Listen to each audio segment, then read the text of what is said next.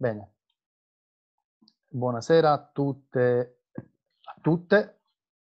Eh, siamo al quinto incontro di una serie di dieci laboratori eh, organizzati dal progetto Periferia Digitale. Eh, naturalmente eh, questo progetto eh, è pensato in maniera ehm, sufficientemente coerente, direi, dall'inizio alla fine, eh, ogni incontro, eh, ogni incontro eh, è autonomo, indipendente, però appunto come già sapete, molti di voi sanno, eh, naturalmente ogni, eh, ogni volta ripetiamo delle cose, insomma, delle, che sono necessarie sia perché sono ricorsive, cioè hanno bisogno di essere ricordate ogni volta perché si ripresentano, eh, sia da un punto di vista tecnico, ad esempio alcuni strumenti sono sempre gli stessi. Allora l'incontro di oggi si intitola, um, vado subito in presentazione, eh? vado, così naturalmente abbiamo l'opportunità tutti di, di, vedere, di vedere le cose. Allora, il problema è che stanno arrivando anche altre persone, quindi nel frattempo le ammetto, bene. Quindi vado in presentazione, l'incontro di oggi si intitola come, come, valutare le informazioni e riconoscere le caratteristiche di informazioni appunto ma, manipolate. Dicevo, è il quinto incontro di una serie, eh, di una serie dedicata appunto all'information literacy.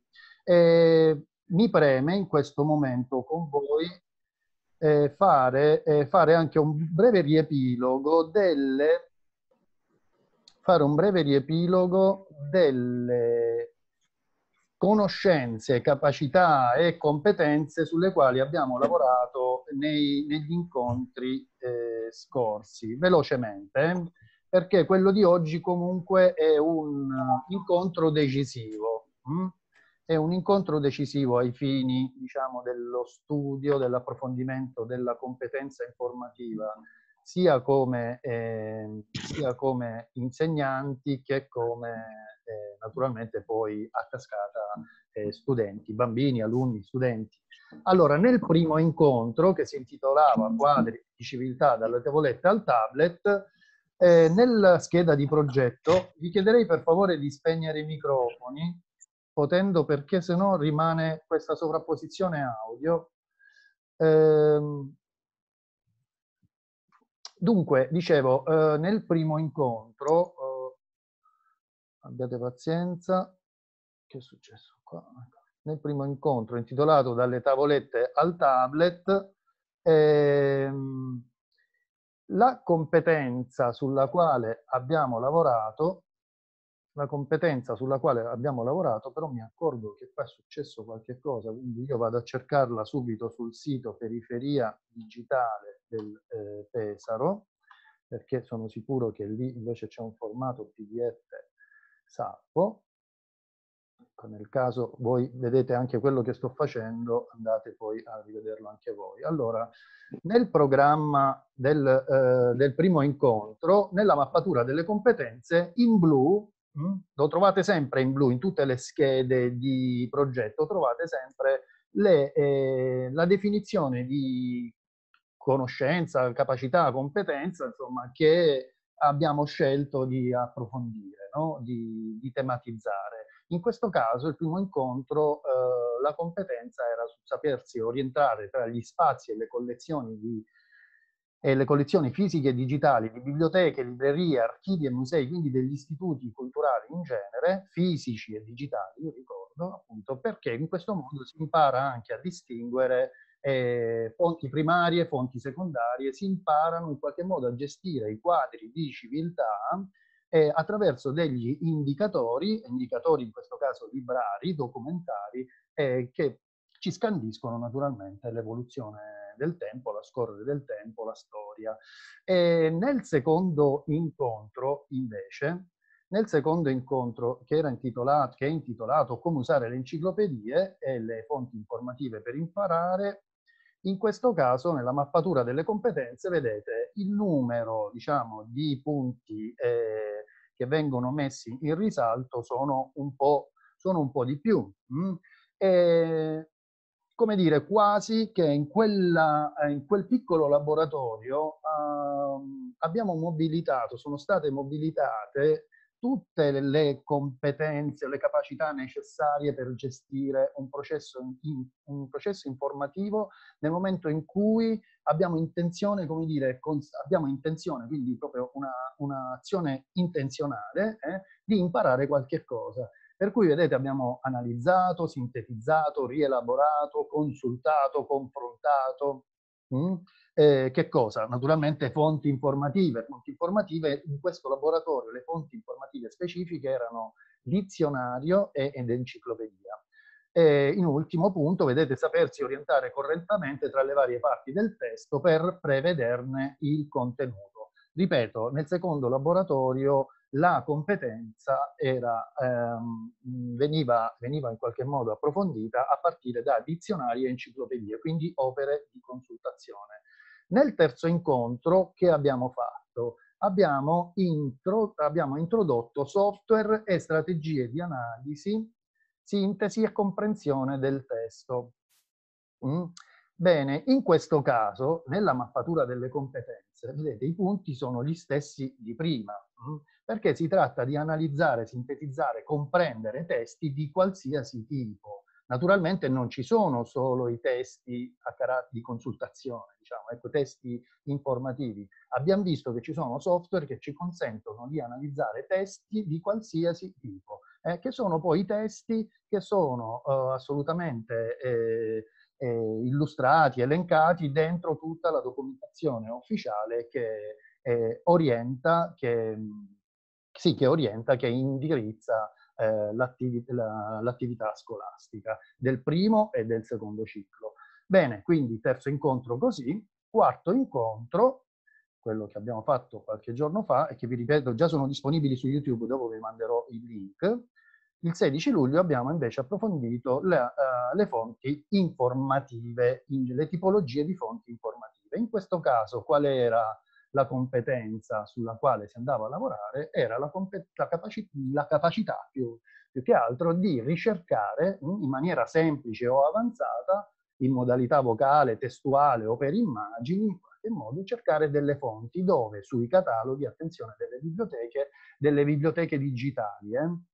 E abbiamo visto naturalmente diverse tipologie di fonti, per cui poi vi invito naturalmente ad andare a guardare il video, eventualmente eh, eh, per, se, se, voi voleste eh, in qualche modo ripassare. Ecco, questa premessa per dire che oggi siamo arrivati al quinto laboratorio che si intitola niente meno che valu come valutare tutte queste cose che abbiamo eh, letto, analizzato, sintetizzato, interpretato. Certo, quindi in qualche modo già valutato. Eh? Però eh, nello specifico noi abbiamo bisogno di individuare alcuni criteri di valutazione che dobbiamo naturalmente essere capaci di padroneggiare noi, ma poi dire, tradurre, trasporre in modalità didattica per farli poi apprendere e maturare eh, ai ragazzi eh, della scuola del primo e del secondo ciclo. Per cui vedete, la competenza sulla quale lavoriamo oggi è, comprende sostanzialmente la capacità, mh, sulla base della provenienza o del bisogno informativo del momento, quindi attenzione, della provenienza o del bisogno informativo. La provenienza è una provenienza esterna, si intende naturalmente. Se io vengo sollecitato da un'informazione di cui non sentivo il bisogno, che ne so, una notifica che mi arriva via social, io ho bisogno in qualche modo in una frazione di secondo, in pochissimi secondi, di valutare la eh, accuratezza, l'autorevolezza, la rilevanza, la pertinenza, la validità e la variabilità di un'immagine, di un suono o di un testo, di fiction e di non fiction. Perché pensateci, in effetti nelle notifiche, anche le notifiche che ci arrivano sui social, i contenuti sono immagini, suoni, testi, eh? più o meno naturalmente eh, veritieri, più o meno verificabili. Bene, il laboratorio di oggi è dedicato a questo tema. Come iniziamo? Come al solito iniziamo facendo un brainstorming. Uh, ormai abbiamo avete capito che insomma io perlomeno adotto questa uh, strategia didattica, cioè di cercare di ancorare le cose che poi vi farò vedere, che vi spiegherò in una ventina, trentina di minuti complessivamente, cercare di ancorarle sulle vostre preconoscenze o direi in questo caso oggi sui vostri pregiudizi e i vostri preconcetti. Eh? Giudizi e concetti sono naturalmente due, eh, dire, due criteri importantissimi uh, eh, nell'esercizio dello spirito critico, del pensiero uh, critico. Eh, bene, quindi iniziamo subito quindi, la, eh, dire, il brainstorming collaborativo e come al solito io vado su, eh, lo dico anzi per chi non c'era, vado su Google, hm? vado su Google e cerco, eh, lo faccio proprio per esemplificare naturalmente a tutte, a tutte le presenti, cerco Mentimeter, hm? che è un'applicazione eh, web hm? eh, che consente di fare delle presentazioni, consente di fare dei piccoli sondaggi, delle indagini. Come funziona? Uh, intanto è gratuita nella sua uh, funzionalità di base, insomma. quindi eh, non vi costa nulla e vi consente insomma, di fare dei lavori sufficienti, direi, se non altro, per una scuola di information literacy propedeutica. Eh? Poi chiaro, se qualcuno vuole fare delle cose più avanzate, ci sono strumenti anche più potenti di questo, però Intanto io creo una nuova presentazione e la chiamo che cos'è? La chiamo con la domanda che poi vi voglio porre, alla quale insomma vi chiedo di rispondere. Che cos'è una bufala? Mm?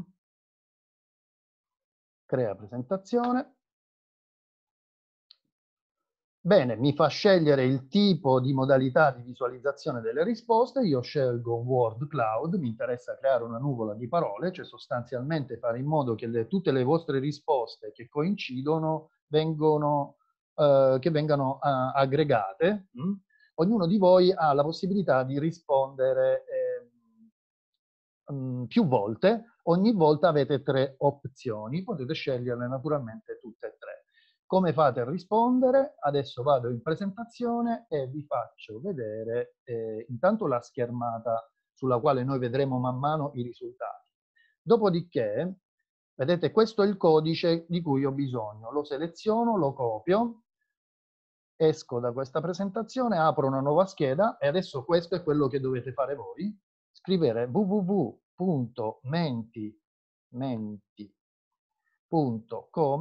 premere invio, vi compare questa casellina in cui dovete inserire il codice che avete copiato, io ce l'ho in memoria, lo metto qua, 83 24 98, submit, dopodiché, vedete, si aprono queste tre caselline nelle quali posso inserire tre risposte fino ad un massimo di 25 caratteri e poi cliccare ed inviare.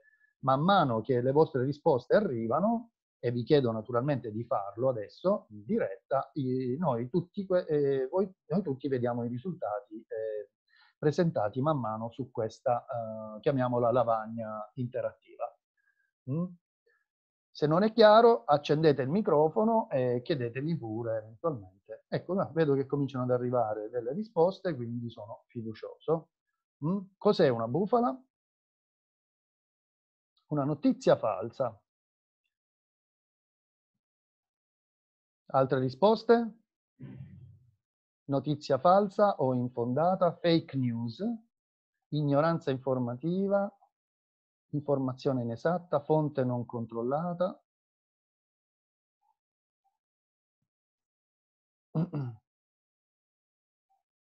Ecco, io vi chiederei di esprimervi mh, mm, più ampiamente possibile, eh? di non tenere solo un punto di vista.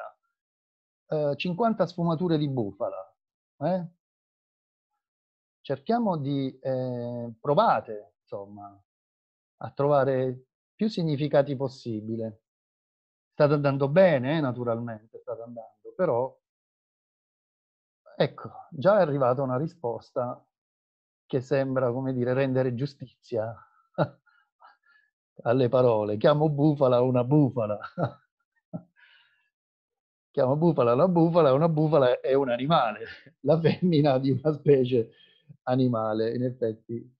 Bufala chiamiamo anche la vi devo suggerire queste cose che i bambini o i ragazzi o gli studenti, insomma, uh, naturalmente esprimono abbastanza liberamente e quasi, quasi da subito. Eh? Eh, mozzarella, ecco sì, una bufala, mozzarella di bufala, giustamente.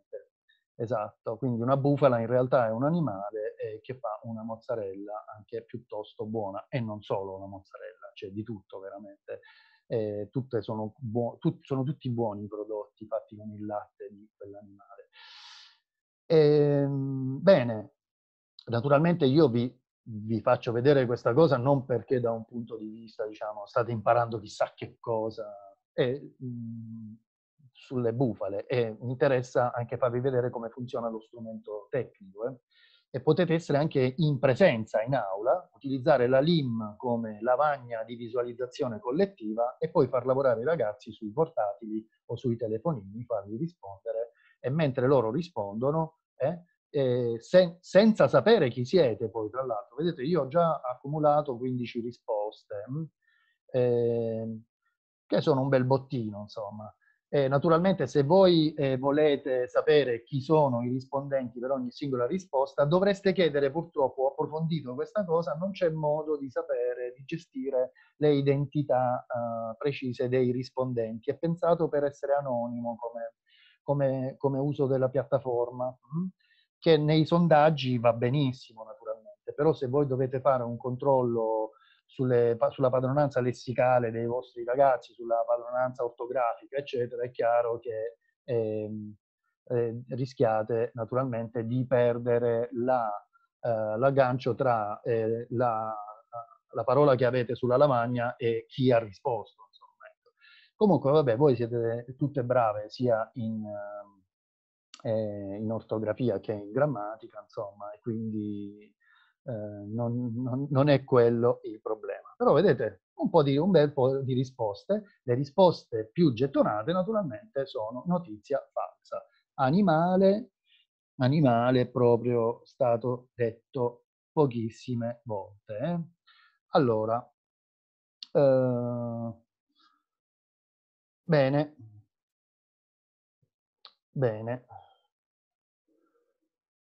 Allora, com'è possibile che un, uh, un, animale così generoso, mh, mm, vedo che continuate a rispondere, però a questo punto vi proporrei di, eh, di finire questo giochino perché abbiamo bisogno di, eh, di portarci avanti appunto chiedendovi come mai un animale così generoso che fa una mozzarella tanto buona, dalla, con la quale poi ci condiamo la pizza più buona di tutti i tempi, mm? eh, sono poco di parte, eh, allora eh, com'è com possibile che un animale così generoso si ritrovi appioppata una reputazione tanto pessima? Ecco, questa è un'altra domanda che voi potete porre naturalmente ai vostri ragazzi utilizzando un, un altro mentimeter. Hm? Un'altra slide come questa. Adesso io naturalmente non sto a rifare lo stesso esercizio con voi, però ecco con i ragazzi, ripeto, in presenza o in un'aula digitale questo esercizio può essere fatto uguale identico. Se in classe non avete niente di elettronico, niente di digitale, potete utilizzare tranquillamente una lavagna a fogli mobili o una lavagna insomma di ardesia e usare i gessetti, insomma, e fare lo stesso identico lavoro di raccolta di punti di vista e di e di parole, insomma. E la domanda però, la, la, domanda, la questione resta la stessa. Com'è possibile che un animale così generoso abbia una reputazione tanto pessima? E la risposta ce la dà niente, di, niente poco di meno che, che l'Accademia della Crusca. Eh? Quindi non Tommaso Paiano, mi raccomando, ma secondo il vocabolario della Crusca, bufala deriva dall'espressione menare per il naso come una bufala cioè portare a spasso l'interlocutore trascinandolo come si fa con i buoi e i bufali per l'anello attaccato al naso. Ecco qual è il punto. Quando noi condividiamo come se non ci fosse un domani, senza alcuno spirito critico o un'informazione, eh, senza sapere bene appunto dove proviene, se ha una qualità, se ha senso oppure no, ecco noi ci comportiamo come quegli animali che si fanno attaccare un anello al naso e che dolorosamente, io immagino, vengono poi trascinati in giro con una corda eh, infilata appunto in questo anello. Ecco, questo ci dice l'Accademia della Crusca e come fonte, direi, etimologica mi basta, insomma, è sufficiente, anche perché poi considerate che voi state lavorando magari con dei bambini di primaria, de, degli alunni, degli studenti, insomma, scuole medie superiori, eh, capite che eh, naturalmente è importante darla questa notizia, ma verrà poi recepita e ancorata nelle preconoscenze dei ragazzi in maniera anche piuttosto diversa. Se sono in un liceo, capite che l'importanza dell'Accademia della Crusca no? probabilmente viene sottolineata sempre di più. Bene, a questo punto abbiamo finito con la parte dedicata al brainstorming sul significato delle parole. Questa cosa io ve la propongo a voi perché vorrei che la presentaste anche ai ragazzi. Hm?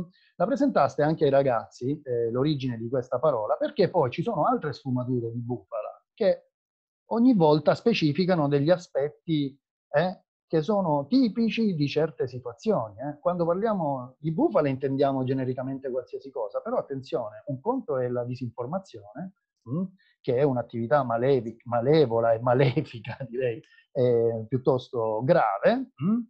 Un conto è un falso storico, un falso letterario, un falso scientifico. Un conto è una leggenda metropolitana. Mh hm un conto è una leggenda metropolitana, dalla quale noi probabilmente, dal concetto dal quale noi deriviamo l'idea di bufala. Eh? Una volta le bufale erano le leggende metropolitane sostanzialmente, che erano un fenomeno folcloristico, eh? una modalità espressiva del popolo e, e, che quindi veniva anche studiata addirittura dagli antropologi. In Italia abbiamo degli studi molto belli eh, di antropologia ehm, legati appunto a queste espressioni eh, popolari, più o meno popolari.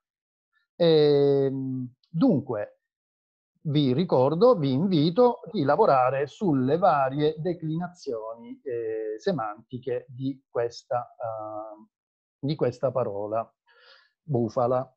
Bene, adesso è arrivato il momento però di fare ehm, di fare, una, di fare un gioco.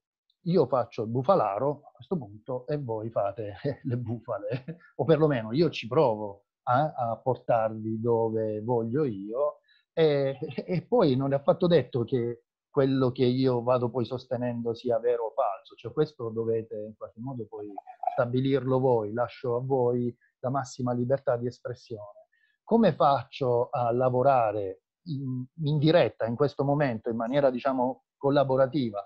Non vi divido per gruppi perché lavorare per gruppi online è un'attività che richiede molto più tempo di preparazione e di esecuzione di 90 minuti. Insomma, ecco, non possiamo pensare di riuscire in 90 minuti ad organizzare un grande lavoro collaborativo, ce ne vogliono molte di più di ore, però ecco, il laboratorio di oggi può essere benissimo uh, ampliato e esteso nel corso del tempo a, dedicando magari maggiore attenzione a tutti i dettagli che io vi dirò invece in poco tempo. Bene, come funziona adesso l'esercizio collaborativo? Vado dentro la mia solita cartella con i materiali dei corsi e qua dentro, come al solito, io creo una nuova lavagna con uno strumento che si chiama Google Jamboard, che trovate sempre nel menu a sinistra di Drive. Drive, vi ricordo, di considerarlo non solo una cartella nella quale salvate i vostri file preferiti, ma uno, uno spazio collaborativo, che è un po' diverso. Eh? Certo, salviamo dei file, ma i file là dentro in realtà sono dei file che possono diventare collaborativi. Quindi Google Jamboard, creo e condivido la lavagna, mm, creo e condivido la lavagna, la connessione mi aiuta quindi anche abbastanza veloce, vedete qua c'è una lavagna bianca con a sinistra il solito oh, elenco di strumenti, sono sei strumenti, quindi facili facili da usare. E, ehm, a questo punto io questo, il file lo chiamo vero o falso, mm? che è la domanda che vi pongo naturalmente, e allora, ehm, a cosa dovete... Questa è la domanda, si tratta di una cosa vera o si tratta di una cosa falsa? su che cosa vi dovete esprimere? Su delle immagini che io carico qua dentro. Allora, seleziona file dal dispositivo, ce le ho salvate sul mio computer, allora per dire, nella prima lavagna metto la foto di un bel topo. Mm? Ok? Poi nella seconda lavagna invece, che vado a crearmi in automatico da qua, vedete con una facilità insomma assoluta, carico invece lo squalo mm? nella terza slide, terza, quarta, quinta e sesta. Ve ne metto addirittura sei, eh? così potete divertirvi qualche minuto. E vabbè, intanto continuo a caricare le altre. Vi faccio vedere come funziona. Ecco, anche preparare una lezione come questa non è, non è difficile, diciamo. Ecco. Poi, poi, sempre che vi piaccia, sempre che la troviate significativa per le vostre eh, attività a scuola o in biblioteca. Naturalmente l'attività di valutazione parlo mentre, mentre faccio vedere questa cosa, l'attività di valutazione, attenzione, non è un'attività semplice che si, come dire, può uh, chiudere in un laboratorio di un'ora e mezza. Quando parliamo di valutazione parliamo forse dell'attività più importante che della competenza più importante che noi dobbiamo attivare tutte le volte che abbiamo a che fare con un'informazione. E, e, quindi richiede, richiede mesi, anni di studio e di approfondimento. Poi vi darò naturalmente alcuni criteri di valutazione che secondo me vale la pena curare. Eh, vedo che in chat qualcuno ha risposto. Ah, non vedete me? Scusate. Chi non vede me? Abbiate pazienza. Allora, eh, chiudo un attimo la presentazione perché temo... Voi vedete me parlare? Sì, adesso sì. Adesso sì, ma prima? Vedevamo sì, la schermata con cui caricavi. Io vedevo anche prima, anche lei in alto, barra in alto. Ok, nella barra in alto, vabbè, facciamo una cosa, facciamo intanto cambio visualizzazione. Ritorno sulla condivisione dello schermo, c'è Letizia che mi diceva che vedeva solo me, non vedeva invece la presentazione. Adesso Letizia la vedi? Vediamo. Esatto, adesso la vedi. Ok, bene, mi sembra che adesso la veda anche lei. Allora, attenzione. Sì, ora la vedo, grazie. Perfetto, perfetto. Scusami Letizia, ma purtroppo appunto essendo da solo non riesco talvolta a gestire tutti gli inconvenienti sì, eh, digitali. No, attenzione, per me mi serve anche a scopo didattico questa cosa, perché vedete, se dovete fare delle lezioni in aula, in aula digitale, sono talvolta molto più complicate di quanto invece lo possano essere in presenza. Eh. E non voglio naturalmente banalizzare nulla, ecco, però online essere in due fa sempre solo che bene. Uno che gestisce la parte tecnica e un altro naturalmente che gestisce anche a rotazione, insomma, ecco, alternandosi gli aspetti eh, diciamo più strettamente didattici. Allora, vedete, eh, abbiamo qua eh, messo eh, in bella vista, ehm, ho messo in bella vista tutte queste fotografie, adesso voi dovete dirmi se si tratta di una cosa vera o di una cosa falsa. Come fate? Accendete i microfoni e parliamo confusia, confusamente tutti quanti insieme? No. Naturalmente questa lavagna mi dà l'opportunità, vedete in, in, qua sulla sinistra, di inserire delle note adesive. Delle note adesive sono dei post-it scrivo qualunque cosa dentro, salvo, vedete, e salva su ogni singola, uh, su ogni singola uh, slide o lavagna, insomma, chiamiamola più propriamente lavagna, adesso cambia anche colore, vedete, salva naturalmente il mio punto di vista, mh, mm, che adesso è, è, è scritto naturalmente solo a titolo di esempio. Come fate a collaborare voi con me? Allora, le modalità sono due. O vi invito manda- chiedendovi i vostri indirizzi Gmail mh? Mm, e quindi voi entrate eh, nell'applicazione in base poi ai poteri, superpoteri che io vi concedo, oppure, cosa molto più semplice, copio l'indirizzo nella barra del browser, lo copio e ve lo incollo dentro la chat, mh? Mm, lo metto dentro la chat ehm, dove voi, eh, allora, dove voi, per voi è sufficiente cliccare sul link che vi ho mandato mm, ed entrare con tutti i superpoteri ma in modalità anonima. Quindi potete esprimervi liberamente su queste sei lavagne, eh, potete esprimervi liberamente eh, dicendomi se secondo voi si trattano delle cose vere o delle cose false. Io vi ho già detto che faccio la parte del bufalaro, ma potevo anche non dirvelo, insomma, adesso vi ho, vi ho svelato anche il trucco, vi ho svelato, però ehm, chissà, si tratta di cose vere o di cose false?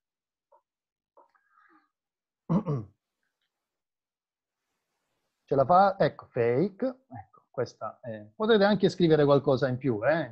vero o falso, va bene, cioè nel senso la, la risposta binaria 0-1 va, va, pure bene, insomma, ecco, però eh, vi chiederei a questo punto uno sforzo mh, hm, di analisi grammaticale, di analisi linguistica dell'immagine. C'è una, come dire, una branca della, della, eh, della linguistica testuale appunto che si occupa delle immagini. Eh? E analizzare un'immagine è possibile farlo come anche per un testo alfabetico, appunto andando a vederne sia l'aspetto che il contenuto. Mm? Quando parliamo di contenuto, naturalmente noi possiamo fare un'analisi grammaticale, ad esempio scomporre queste, questa immagine dello squalo o anche le altre che adesso visualizzo qua in alto, scomporla in tanti piccoli pezzettini e cercare di capire se c'è un nesso logico tra un elemento e un altro. Adesso io naturalmente vi do qualche, eh, qualche indizio eh, solamente, quindi che ne so, un'immagine del genere potete analizzare la scena, una sottoscena, eh, un, se ci sono naturalmente dei, delle parole, ma in questo caso purtroppo io vi ho dato solo un'immagine, attenzione, non ci sono parole non ci sono parole alfabetiche, diciamo, ecco. Quindi ehm, diventa estremamente, come dire, complesso analizzare l'immagine. Analizzare un'immagine può essere anche molto più complesso di un, eh, di un testo. Mm? E, ehm, ripeto, anche fosse anche solamente dal punto di vista grammaticale, di riconoscere il contesto, mm? il discorso che viene fatto da questa immagine e poi le vari, i vari e le varie scene e sottoscene, eh, naturalmente può essere abbastanza complesso, ci vuole una certa abilità e con i ragazzi, con i bambini, noi ci lavoriamo già naturalmente su queste cose, ma varrebbe la pena anche farlo proprio per sottolineare l'importanza di eh, valutare le informazioni. Vediamo se state passando da una scheda a un'altra. Sì, il, il topo è falso, qualcuno di bufala, falso, falso, falso, siete tutti, fal siete tutti dite che è falso, falsissimo, spero vivamente sia falso. Eh, a Bellocchi l'hanno trovato questo qua, a vicino Fano, in periferia di Fano. E I fotografi, vediamo un po', realistica, sembra realistica. Ah, ok, eh, guardate un po' cosa sto facendo, provo a riordinare le vostre risposte. Può capitare che i, dei post-it si sovrappongano agli altri. Tenetene conto quando lavorate con i vostri ragazzi, eh, perché qualcuno potrebbe aver risposto e non riuscite a visualizzare bene il, il post-it che lui ha inserito. Eh. Quindi eh, beh, abbiamo risposte più o meno su qualsiasi, su qualsiasi eh, immagine. Vediamo, falso, falso, falso. E chi vi dice che è falso? Potrebbe essere vero, potrebbe essere vero. Vedete, qualche dubbio naturalmente vi viene, ma perché, voglio dire, eh, percepiamo delle cose che appunto possono stare dentro un discorso sufficientemente realistico, eh? perché deve essere fiction. Mm? Potrebbe essere anche non fiction. Uh, un orrore, un orrore, bene, orribile. Ecco, ehm, allora su questo esercizio, eh, scusatemi, io con voi adotto, come dire, la strategia dell'esempio e poi della metariflessione. Con i ragazzi non è che tutte le volte eh, intervengo spiegando sempre cosa c'è dietro, tutto quanto, cioè mi limito solamente a farli anche un po' divertire, per cui prendo anche le loro risposte così come vengono. Mm? Uh, dunque, dunque, io mi ritengo soddisfatto eh, per la vostra collaborazione, siete state molto molto uh, molto brave ed espressive, i ragazzi naturalmente sono anche molto ma molto più, eh, come dire, spumeggianti eh, nelle, nelle, risposte, possono, alcune sono davvero, possono essere davvero divertenti. Insomma. Uh, allora, adesso punto successivo, vediamo un po'. Punto successivo è questo. Vado sulla uh, slide vuota, la numero 7, mh, mm, e qua inserisco una domanda, la inserisco in giallo. Che cosa fareste per dimostrare il vostro punto di vista mm? sulle immagini naturalmente che io vi ho sottoposto poco fa? Mm? Che tipo di lavoro fareste? Mm? State parlando con me, io sono il vostro interlocutore, vi posso dire banalmente, guardate, a me dei vostri, dei, punti, dei vostri punti di vista non mi importa nulla, per me si tratta di cose vere, verissime, pericolose, che stanno minacciando l'umanità. Ecco, eh, non mi bastano le tue preconoscenze, la tua percezione, eh, la filosofia ci insegna a dubitare della, della percezione, come dire, sensibile, eh? ogni tanto, insomma, ogni tanto vale la pena dubitare, non affidarsi solo alla prima sensazione, ma ragionare ogni tanto. E, ecco, quindi eh, che cosa fareste per dimostrarmi il vostro punto di vista? Farei una ricerca per immagini. Ricerca per immagini su Google. Eh, ma siete preparatissime, voi sapete già tutto, sapete. Falso. Qualcuno risponde anche nella chat, si tratta analisi accurata delle immagini, copierei l'indirizzo e lo verificherei in Google proverei a cercare in rete da dove è stata estrapolata l'immagine. Attenzione, siamo sempre alle solite. Eh? Analisi, vediamo un po' cosa risponde. Analisi dei dettagli, ricerca tramite internet delle foto anche con upload per dimostrare che la stessa sia stata già utilizzata in un altro contesto. Anche qua provate a differenziare un pochettino le risposte. Eh? Provate a immaginare che non avete sempre a disposizione tipo un telefonino eh? collegato a internet o un computer collegato a internet e magari neanche un libro e neanche una biblioteca. Supponiamo che vivete in un villaggio sperduto eh, e vi arriva qualcuno, vi recapita una fotografia dentro una lettera tipo con un ragno gigante che sta attaccato sulla casa del vicino. Eh, cosa fate? Ricerca per immagini su Google e anche per parole chiave in italiano e in inglese. Mm. Certo, certo. Va bene, sono tutte risposte, sono tutte risposte super... Ehm, userei il buonsenso. Ecco sì, il buonsenso, sì, certo, va bene. Eh, il buonsenso talvolta però può essere anche, eh, come dire, può non essere sufficiente talvolta, eh? perché poi come se riusciamo insomma, a vedere tutti, almeno un po' di casi, vedete che talvolta può capitare che, che il buonsenso non ce l'hanno tutti, perlomeno i nostri interlocutori potrebbero non avercelo e quindi eh, non è sufficiente per dimostrare come stanno le cose. Osservazione dell'immagine, controllo della data di pubblicazione, autorevolezza del sito e della fonte. Mm, bene. Allora, vabbè, tutti uh, andreste a cercare delle informazioni e vedo continuano ad arrivare le risposte. Bene, questo mi piace, questa collaborazione mi piace. Sarebbe bello avere più tempo a disposizione da poter dedicare anche a questi lavori di eh, manipolazione digitale no? dell'informazione che stiamo facendo perché impariamo anche a, a padroneggiare l'ambiente di, apprend di apprendimento.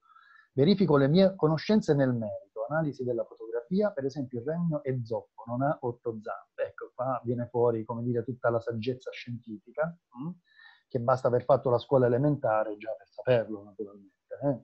Eh? Eh, senza offesa, ma è come dire, è, è assolutamente così il, il ragno ha dei problemi di salute, c'ha. analizzare l'immagine e trovare dettagli che confermano che non sia un fotomontaggio. Cercherei più fonti che confermassero l'immagine o il dato. Se ne trovassi una sola dubiterei. Bene. Ehm... Bene. Allora, uh, guardate, io davvero mi ritengo soddisfatto della uh, qualità delle vostre risposte, però vi aggiungo, anzi faccio così, chiudo un attimo la condivisione e cerco i vostri visi, cerco i vostri visi perché, eh, come dire, vorrei un attimo, uh, vorrei un attimo farvi presente alcuni dettagli. Allora, voi rispondete avete risposto molto bene, in maniera articolata, come rispondono i bambini, come rispondono i ragazzi che, non, che hanno, come dire, che vivono in questa società, vivono nella società dell'informazione e quindi spontaneamente dicono ok, cosa faccio? Faccio una ricerca più o meno complessa, eh? però in realtà davanti a un problema, davanti a una questione, come dire, delicata, come riconoscere se c'è una manipolazione genetica, ad esempio, tra un topo e un serpente, io la prima cosa che faccio, non, vabbè, se sono abbastanza bravo vado a fare una ricerca, bene. Ma eh, in realtà se sono un bambino, sono un ragazzo, la prima cosa che mi vorrebbe, converrebbe fare è chiedere a un esperto. Hm? E non a caso i ragazzi, eh, come dire, vanno poi a scuola, eh? li poi mandiamo a scuola per 19 anni più o meno obbligatoriamente, perché hanno a disposizione degli esperti che rispondono eventualmente a dei loro delle, dei loro problemi eh, o che li aiutano, insomma, li educano a trovare le risposte anche eh, eh, importanti, rilevanti. Eh. E quindi io consiglio sempre, davanti a un problema come questo, di rivolgersi a un esperto. Se l'esperto non c'è, può capitare, ci si può rivolgere benissimo alla comunità di appartenenza. Può essere il paesino, il villaggio, se ne viene sperduto in mezzo all'Appennino, può essere la comunità digitale, ad esempio questa, nella quale stiamo lavorando noi. Certamente io, se continuo a lavorare su questa cosa oggi con voi, sono sicuro che imparerò tante, tante cose, anche tecniche, che non avevo preso in considerazione su come si lavora con l'informazione. Sono sicurissimo di questo. Quindi, in primo luogo, consiglio sempre di indicare l'esperto. In secondo luogo, naturalmente, rivolgersi alla comunità di appartenenza. Immaginate, i ragazzi sono in classe, rivolgetevi ai vostri compagni quando non sapete qualche cosa, magari vi possono aiutare a trovare la risposta. La terza opzione è quella di andare ad informarsi. Eh? La terza opzione è quella di andare ad informarsi, non è necessariamente la prima. Hm? Certo, io sono qua con voi oggi perché devo prendere in considerazione questa terza opzione, cioè come eh, impariamo ad informarci, come facciamo uso dell'informazione, come possiamo insegnare a qualcuno, grande o piccolo che sia, a um, usare lo spirito critico tutte le volte che viene a contatto con un'informazione che ne abbia il bisogno lui interi- internamente o che gli venga da, da bisogni suoi, oppure che insomma, arrivi da una sollecitazione esterna. Sono sempre queste le tre dimensioni, direi, dell'apprendimento che terrei in considerazione. Esperto, comunità e informazione. Bene, a questo punto voi avete risposto già fin troppo, uh, fin troppo bene su cosa fareste eh, per, a, per, andare ad informarsi. Però, visto che eh, magari vi può interessare vedere come poterlo fare con i vostri ragazzi us usando un'aula digitale, eh, io vi faccio vedere come mi comporterei, appunto come mi, mi, mi comporterei sostanzialmente in questo modo. Eh, torno in presentazione, mm, torno in presentazione e stavolta, eh, allora stavolta apro un browser, eh, apro un browser nel quale cerco il mio, un motore di ricerca, uno a caso, www.google.com. Mm? Ce ne sono tanti altri, vedete io ne uso anche altri di motori di ricerca, eh? non sono necessariamente tutti uguali e tutti corretti. Vabbè, intanto usiamo Google che diciamo quella, la porta di accesso al sapere ormai sembra diventato questo, questa piccola casellina. Bene, voglio sapere qualche cosa in più su quel topo, hm? topo serpente. Se io scrivo qua topo serpente, cosa salta fuori? Ecco, vedete, mi è andata bene nel primo risultato che, va, che ho trovato, mh, hm, ho trovato il, ho trovato il topo, ho trovato l'immagine che mi interessa.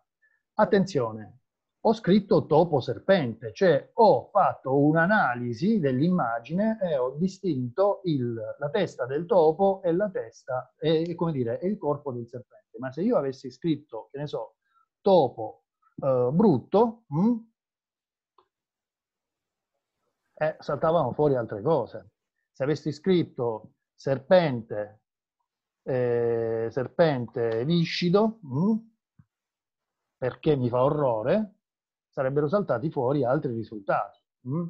Quindi, vedete, già solo eh, decodificando un minimo l'immagine, quindi scomponendo l'immagine nelle varie sottoscene, sottoelementi, ecco, io riesco già a trovare l'immagine. Attenzione, fino a qui io sto usando delle parole, sto usando delle parole inteso come alfabetiche. Eh? E, ehm, il risultato mi è andata anche abbastanza bene. Tenete conto, tenete conto che le prime volte che fate gli esercizi con i ragazzi può capitare che loro non riescano a trovare eh, quanto voi gli state dicendo di cercare. E, ehm, quindi non, non date nulla per scontato.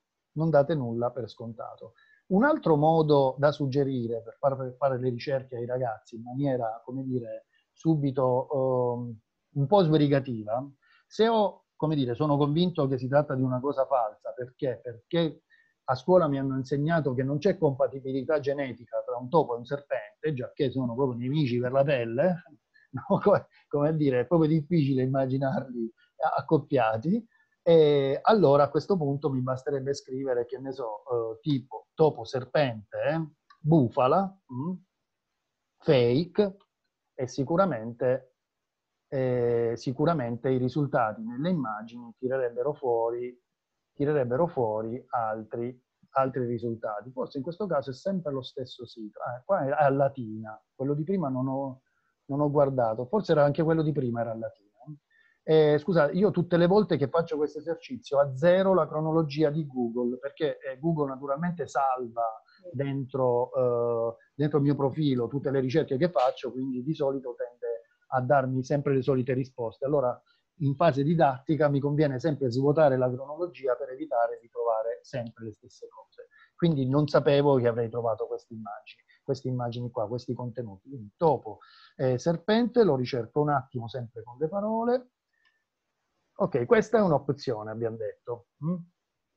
Cercare per parole ma in realtà esiste un'altra strategia e voi l'avete indicata già ampiamente, però lo faccio vedere perché se tra di voi qualcuno non dovesse conoscerla e sicuramente può essere utile. Trovata l'immagine, attenzione, trovata l'immagine, io l'immagine, se ci clicco col tasto destro, o la scarico sul mio computer, hm, la posso salvare con nome sul mio computer, oppure, vedete, posso copiare l'indirizzo. Hm, posso copiare l'indirizzo dell'immagine. Bene, una volta che ho copiato l'indirizzo dell'immagine, torno su Google e qua dentro Google mi fa cercare inserendo delle lettere, dei numeri, eh? un codice alfanumerico, ma se clicco in alto a destra su immagini, mh, hm, la casellina di ricerca resta sempre la stessa, ma in più compare una macchinetta fotografica che se ci passo sopra con il mouse mi dice che posso fare una ricerca tramite immagini. Ci clicco sopra, ecco, a questo punto mi propone due opzioni. O incollo l'indirizzo che ho copiato poco fa, oppure carico un'immagine dal mio computer.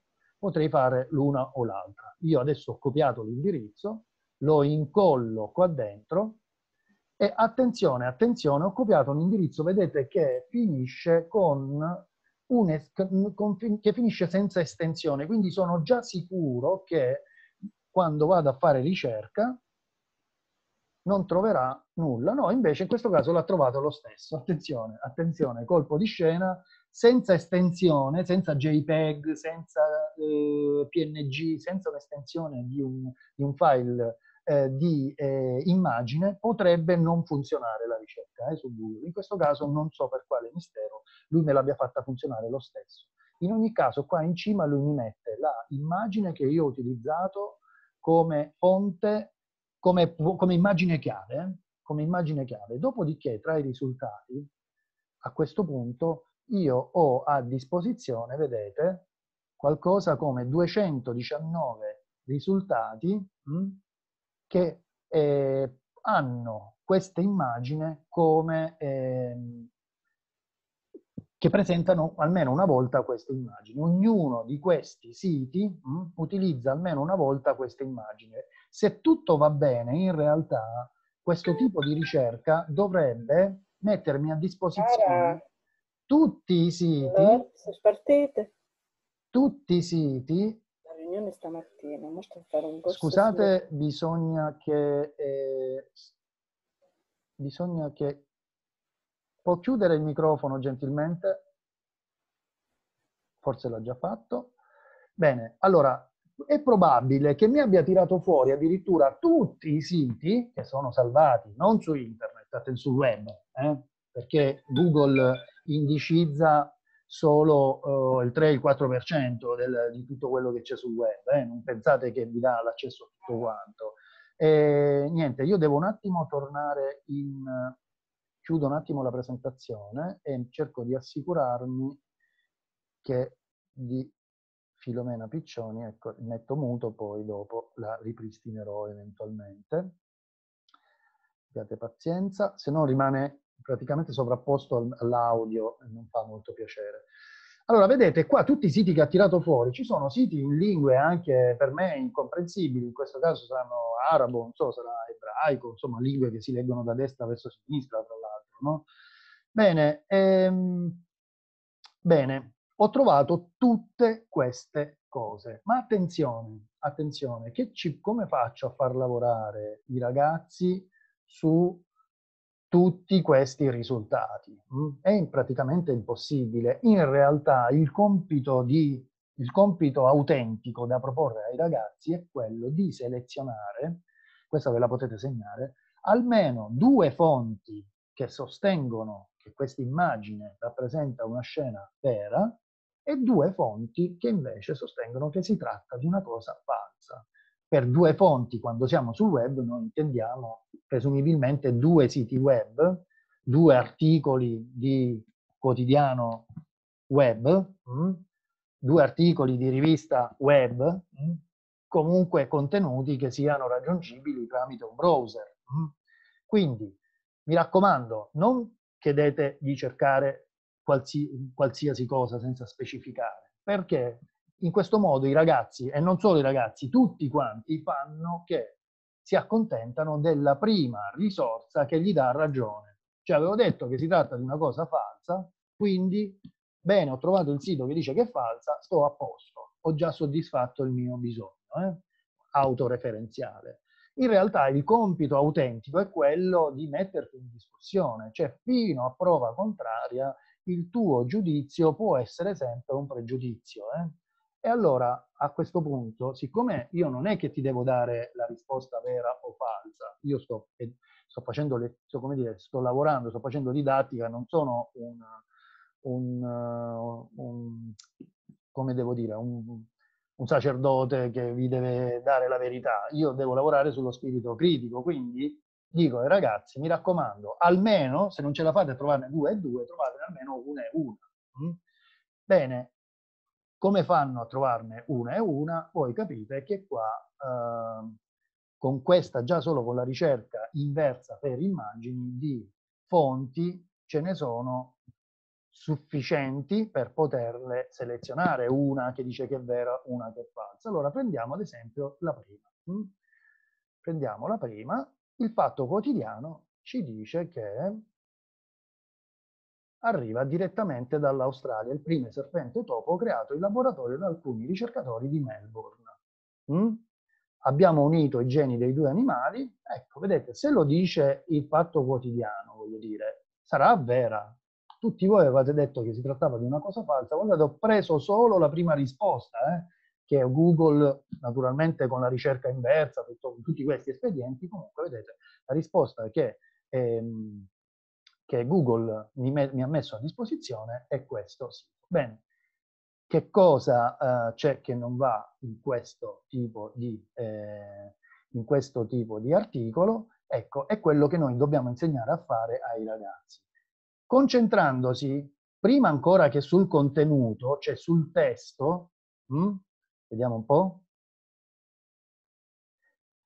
e arrivano le risposte in chat, arrivano. Lo so, adesso passatemi naturalmente lo scherzo, qualcuno se ne è accorto che si tratta di uno scherzo, ve lo dico subito, non è il fatto quotidiano, eh, ma è il fatto quotidiano. Mm? Attenzione, attenzione. Qualcuno di voi, mm, adulto eh, preparato, se ne, se ne, è accorto. Magari se ne accorgono anche i ragazzi. Eh. Spesso i ragazzi però sanno che il Fatto Quotidiano è un giornale, ne hanno sentito parlare, quando leggono la testata eh, qua, fatto, leggi Fatto Quotidiano diciamocelo chiaramente, devi essere proprio, deve proprio caderti l'occhio sullo scambio di lettere, no? che non è significativo dal punto di vista della lettura, già che noi leggiamo parole intere, non leggiamo ogni singola lettera. Mm?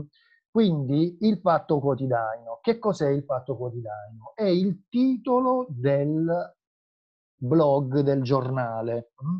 Ma attenzione, questo è il nome del giornale, ma il titolo dell'articolo è questo. Mm? E già vedete dentro al titolo dell'articolo voi trovate un maiuscolo. Normalmente quando ci sono incorporati all'interno del testo minuscolo dei maiuscoli in questo modo, voi già potete avere un primo segnale che si tratta di una notizia falsa. Ma non lo devo dire a voi, voi lo dovete spiegare ai ragazzi questa cosa qua. Quindi ai ragazzi vi dovete spiegare che va subito preso in considerazione il nome del giornale, del quotidiano online che stiamo consultando il titolo dell'articolo, la data e l'autore. Almeno il titolo, l'autore e la data sono tre elementi mm, di qualsiasi informazione che vanno assolutamente messi in evidenza nella didattica in qualsiasi momento.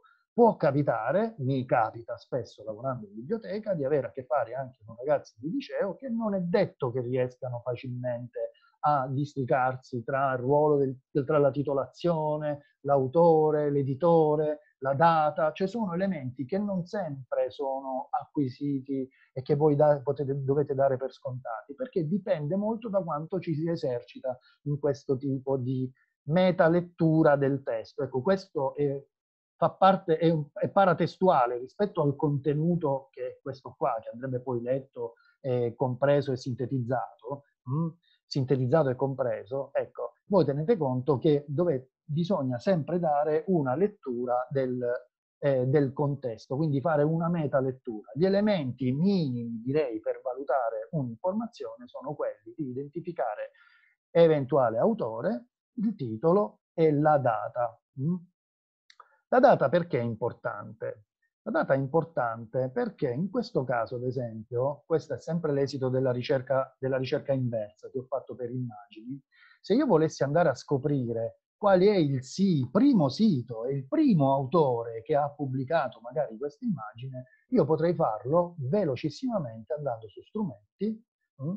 Quando clicco su strumenti viene fuori un sottomenu che mi consente di specificare il periodo interessato.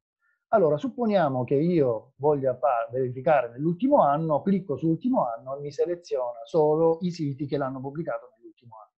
Ma se mi interessa sapere la più antica, il sito diciamo più, eh, più antico che, mi ha, eh, che ha messo a disposizione questa immagine, che presumibilmente ha creato poi il, eh, il flusso fake, eh, ha messo in circolazione il fake, devo fare una ricerca. Allora, la ricerca cioè, nell'intervallo di date personalizzato di Google, attenzione, deve, eh, richiede l'uso della sintassi americana nelle date, eh, non quella italiana. Se io scrivo primo, gen, eh, primo gennaio 2010, eh, faccio per dire, in realtà eh, capisce, in questo caso, ehm, capisce eh, scusate, gennaio, prima, vabbè, no, scusate, questo è proprio l'esempio più, no, no non, ho fatto, non, ho fatto, un bel esempio.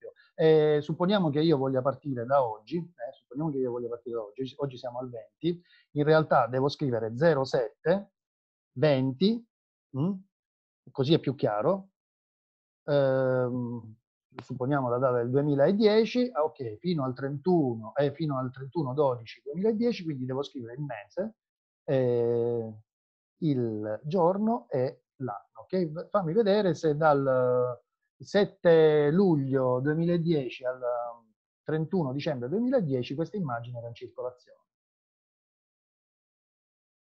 E salta fuori che no, non era in circolazione. Impossibile trovare questa immagine, non la trova sostanzialmente, vi dà dei risultati che sembrano assomigliarsi solo come colore, per cui andate a cambiare, mano a mano andate a cambiare la data finale. E a questo punto mettete 2011, vai, e chissà se salta fuori. Ecco qua, guardate un po', la prima volta che è saltato fuori questa immagine è il 30 ottobre 2011, presumibilmente, eh? insomma, Adesso non devo fare eh, una ricerca su questa immagine, non devo passare tutto il mio tempo a fare una ricerca su questa immagine specifica, mi serve come esempio da fare ai vostri ragazzi per abituarli a non arrendersi mai quando devono andare a trovare eh, l'origine di un, di un messaggio, di un'informazione. Non solo l'origine di un messaggio, di un'informazione, ma anche eventualmente la responsabilità, quindi l'autore, eh, qualora questo eh, sia disponibile. Attenzione, fino ad ora eh, abbiamo fatto uh, questi esempi. Eh? Eh, abbiamo, preso, abbiamo fatto un po' di brainstorming, dopodiché vi ho fatto vedere eh, come fare una ricerca tramite parole chiave, poi come fare una ricerca tramite immagini chiave. Ma se io ho un video, ad esempio, da analizzare, mh, hm, vorrei valutare la veridicità di un video, come faccio? Allora, le risposte naturalmente su internet sono tante. Adesso io ve ne faccio vedere solo una veloce, veloce. Mm. Clicco su Google, mm. Apro sempre il solito motore di ricerca, stavolta cerco un database, eh, cioè un'applicazione un eh, specifica, si chiama YouTube Data Viewer, eccola qua. Cos'è YouTube Data Viewer? È praticamente uno strumento messo a disposizione su questo sito. Vedete Citizen Evidence Amnesty USA, clicco su Extract Metadata, insomma salta fuori in, uh, un sito delle, di Amnesty International americana, mette a disposizione un motore di ricerca nel quale inserire, attenzione, non gli indirizzi di un'immagine, gli indirizzi link, i link di un'immagine, ma i link di un video.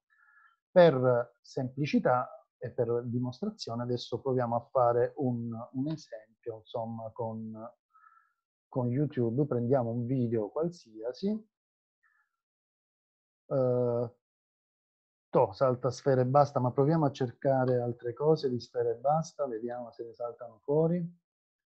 Bene, prendo questo esempio qua, mm?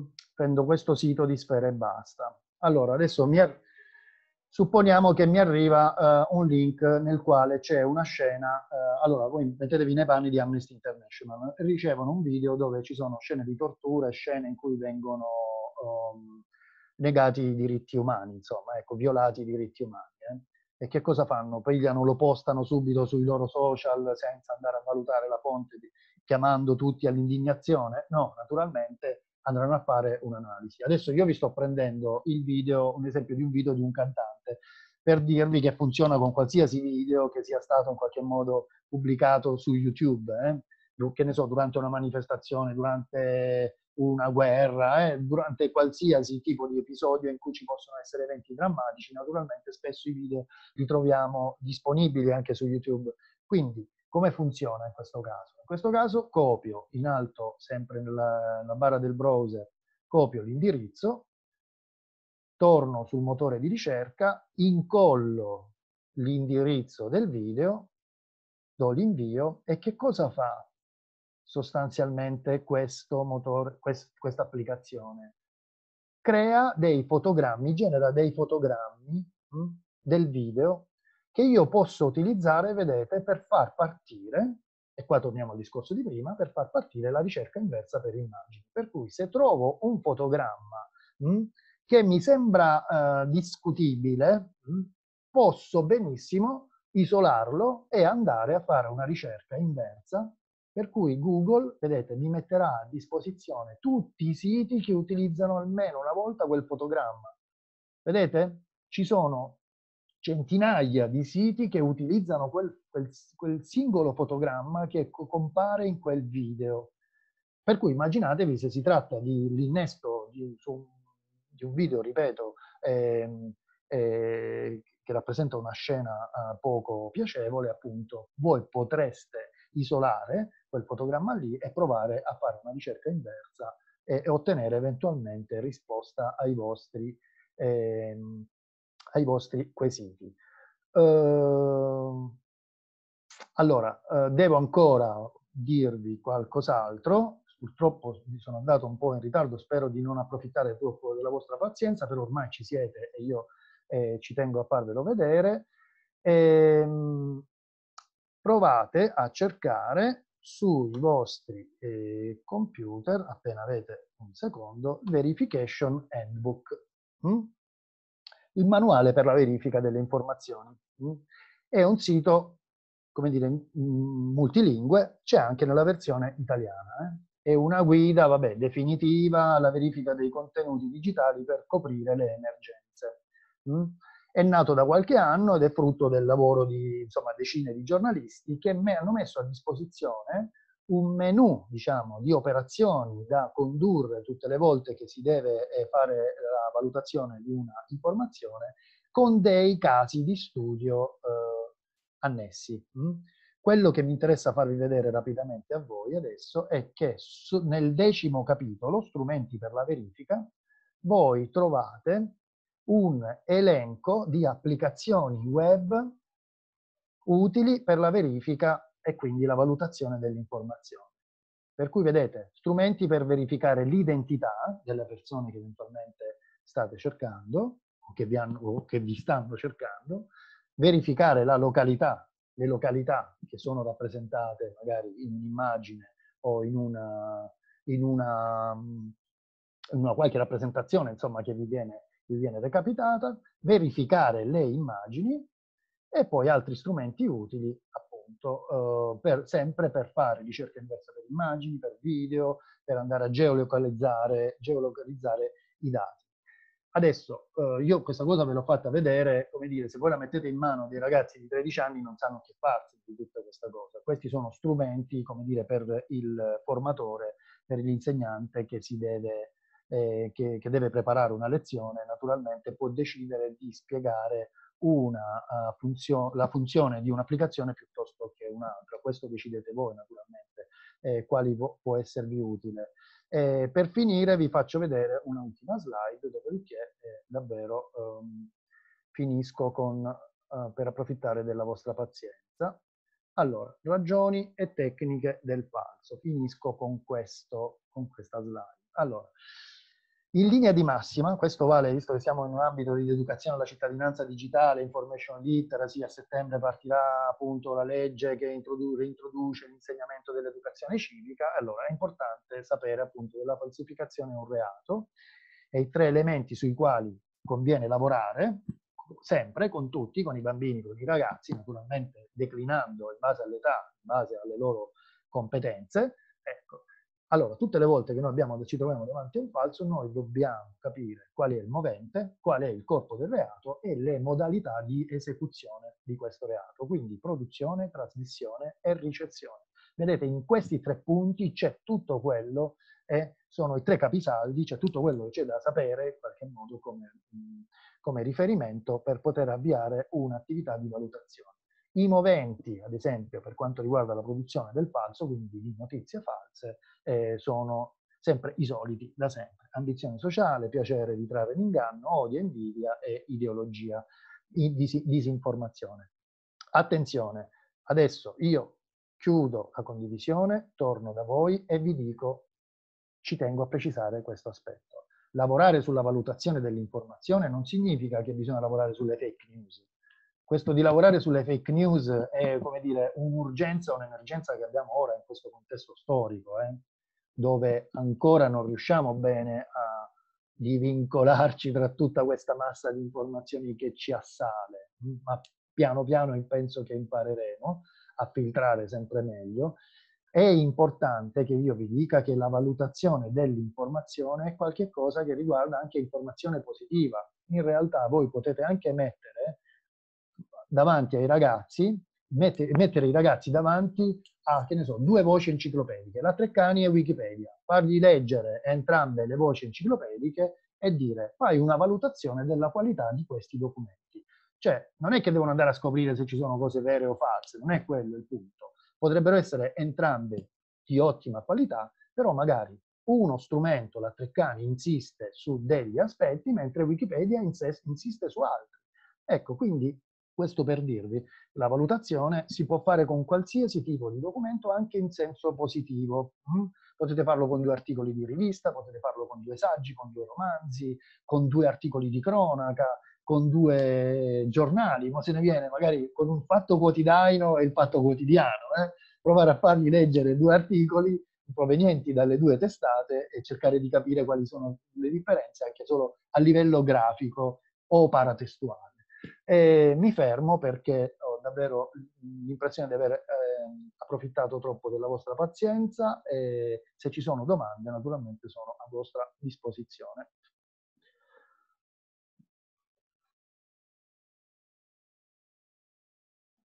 Vi ho stese,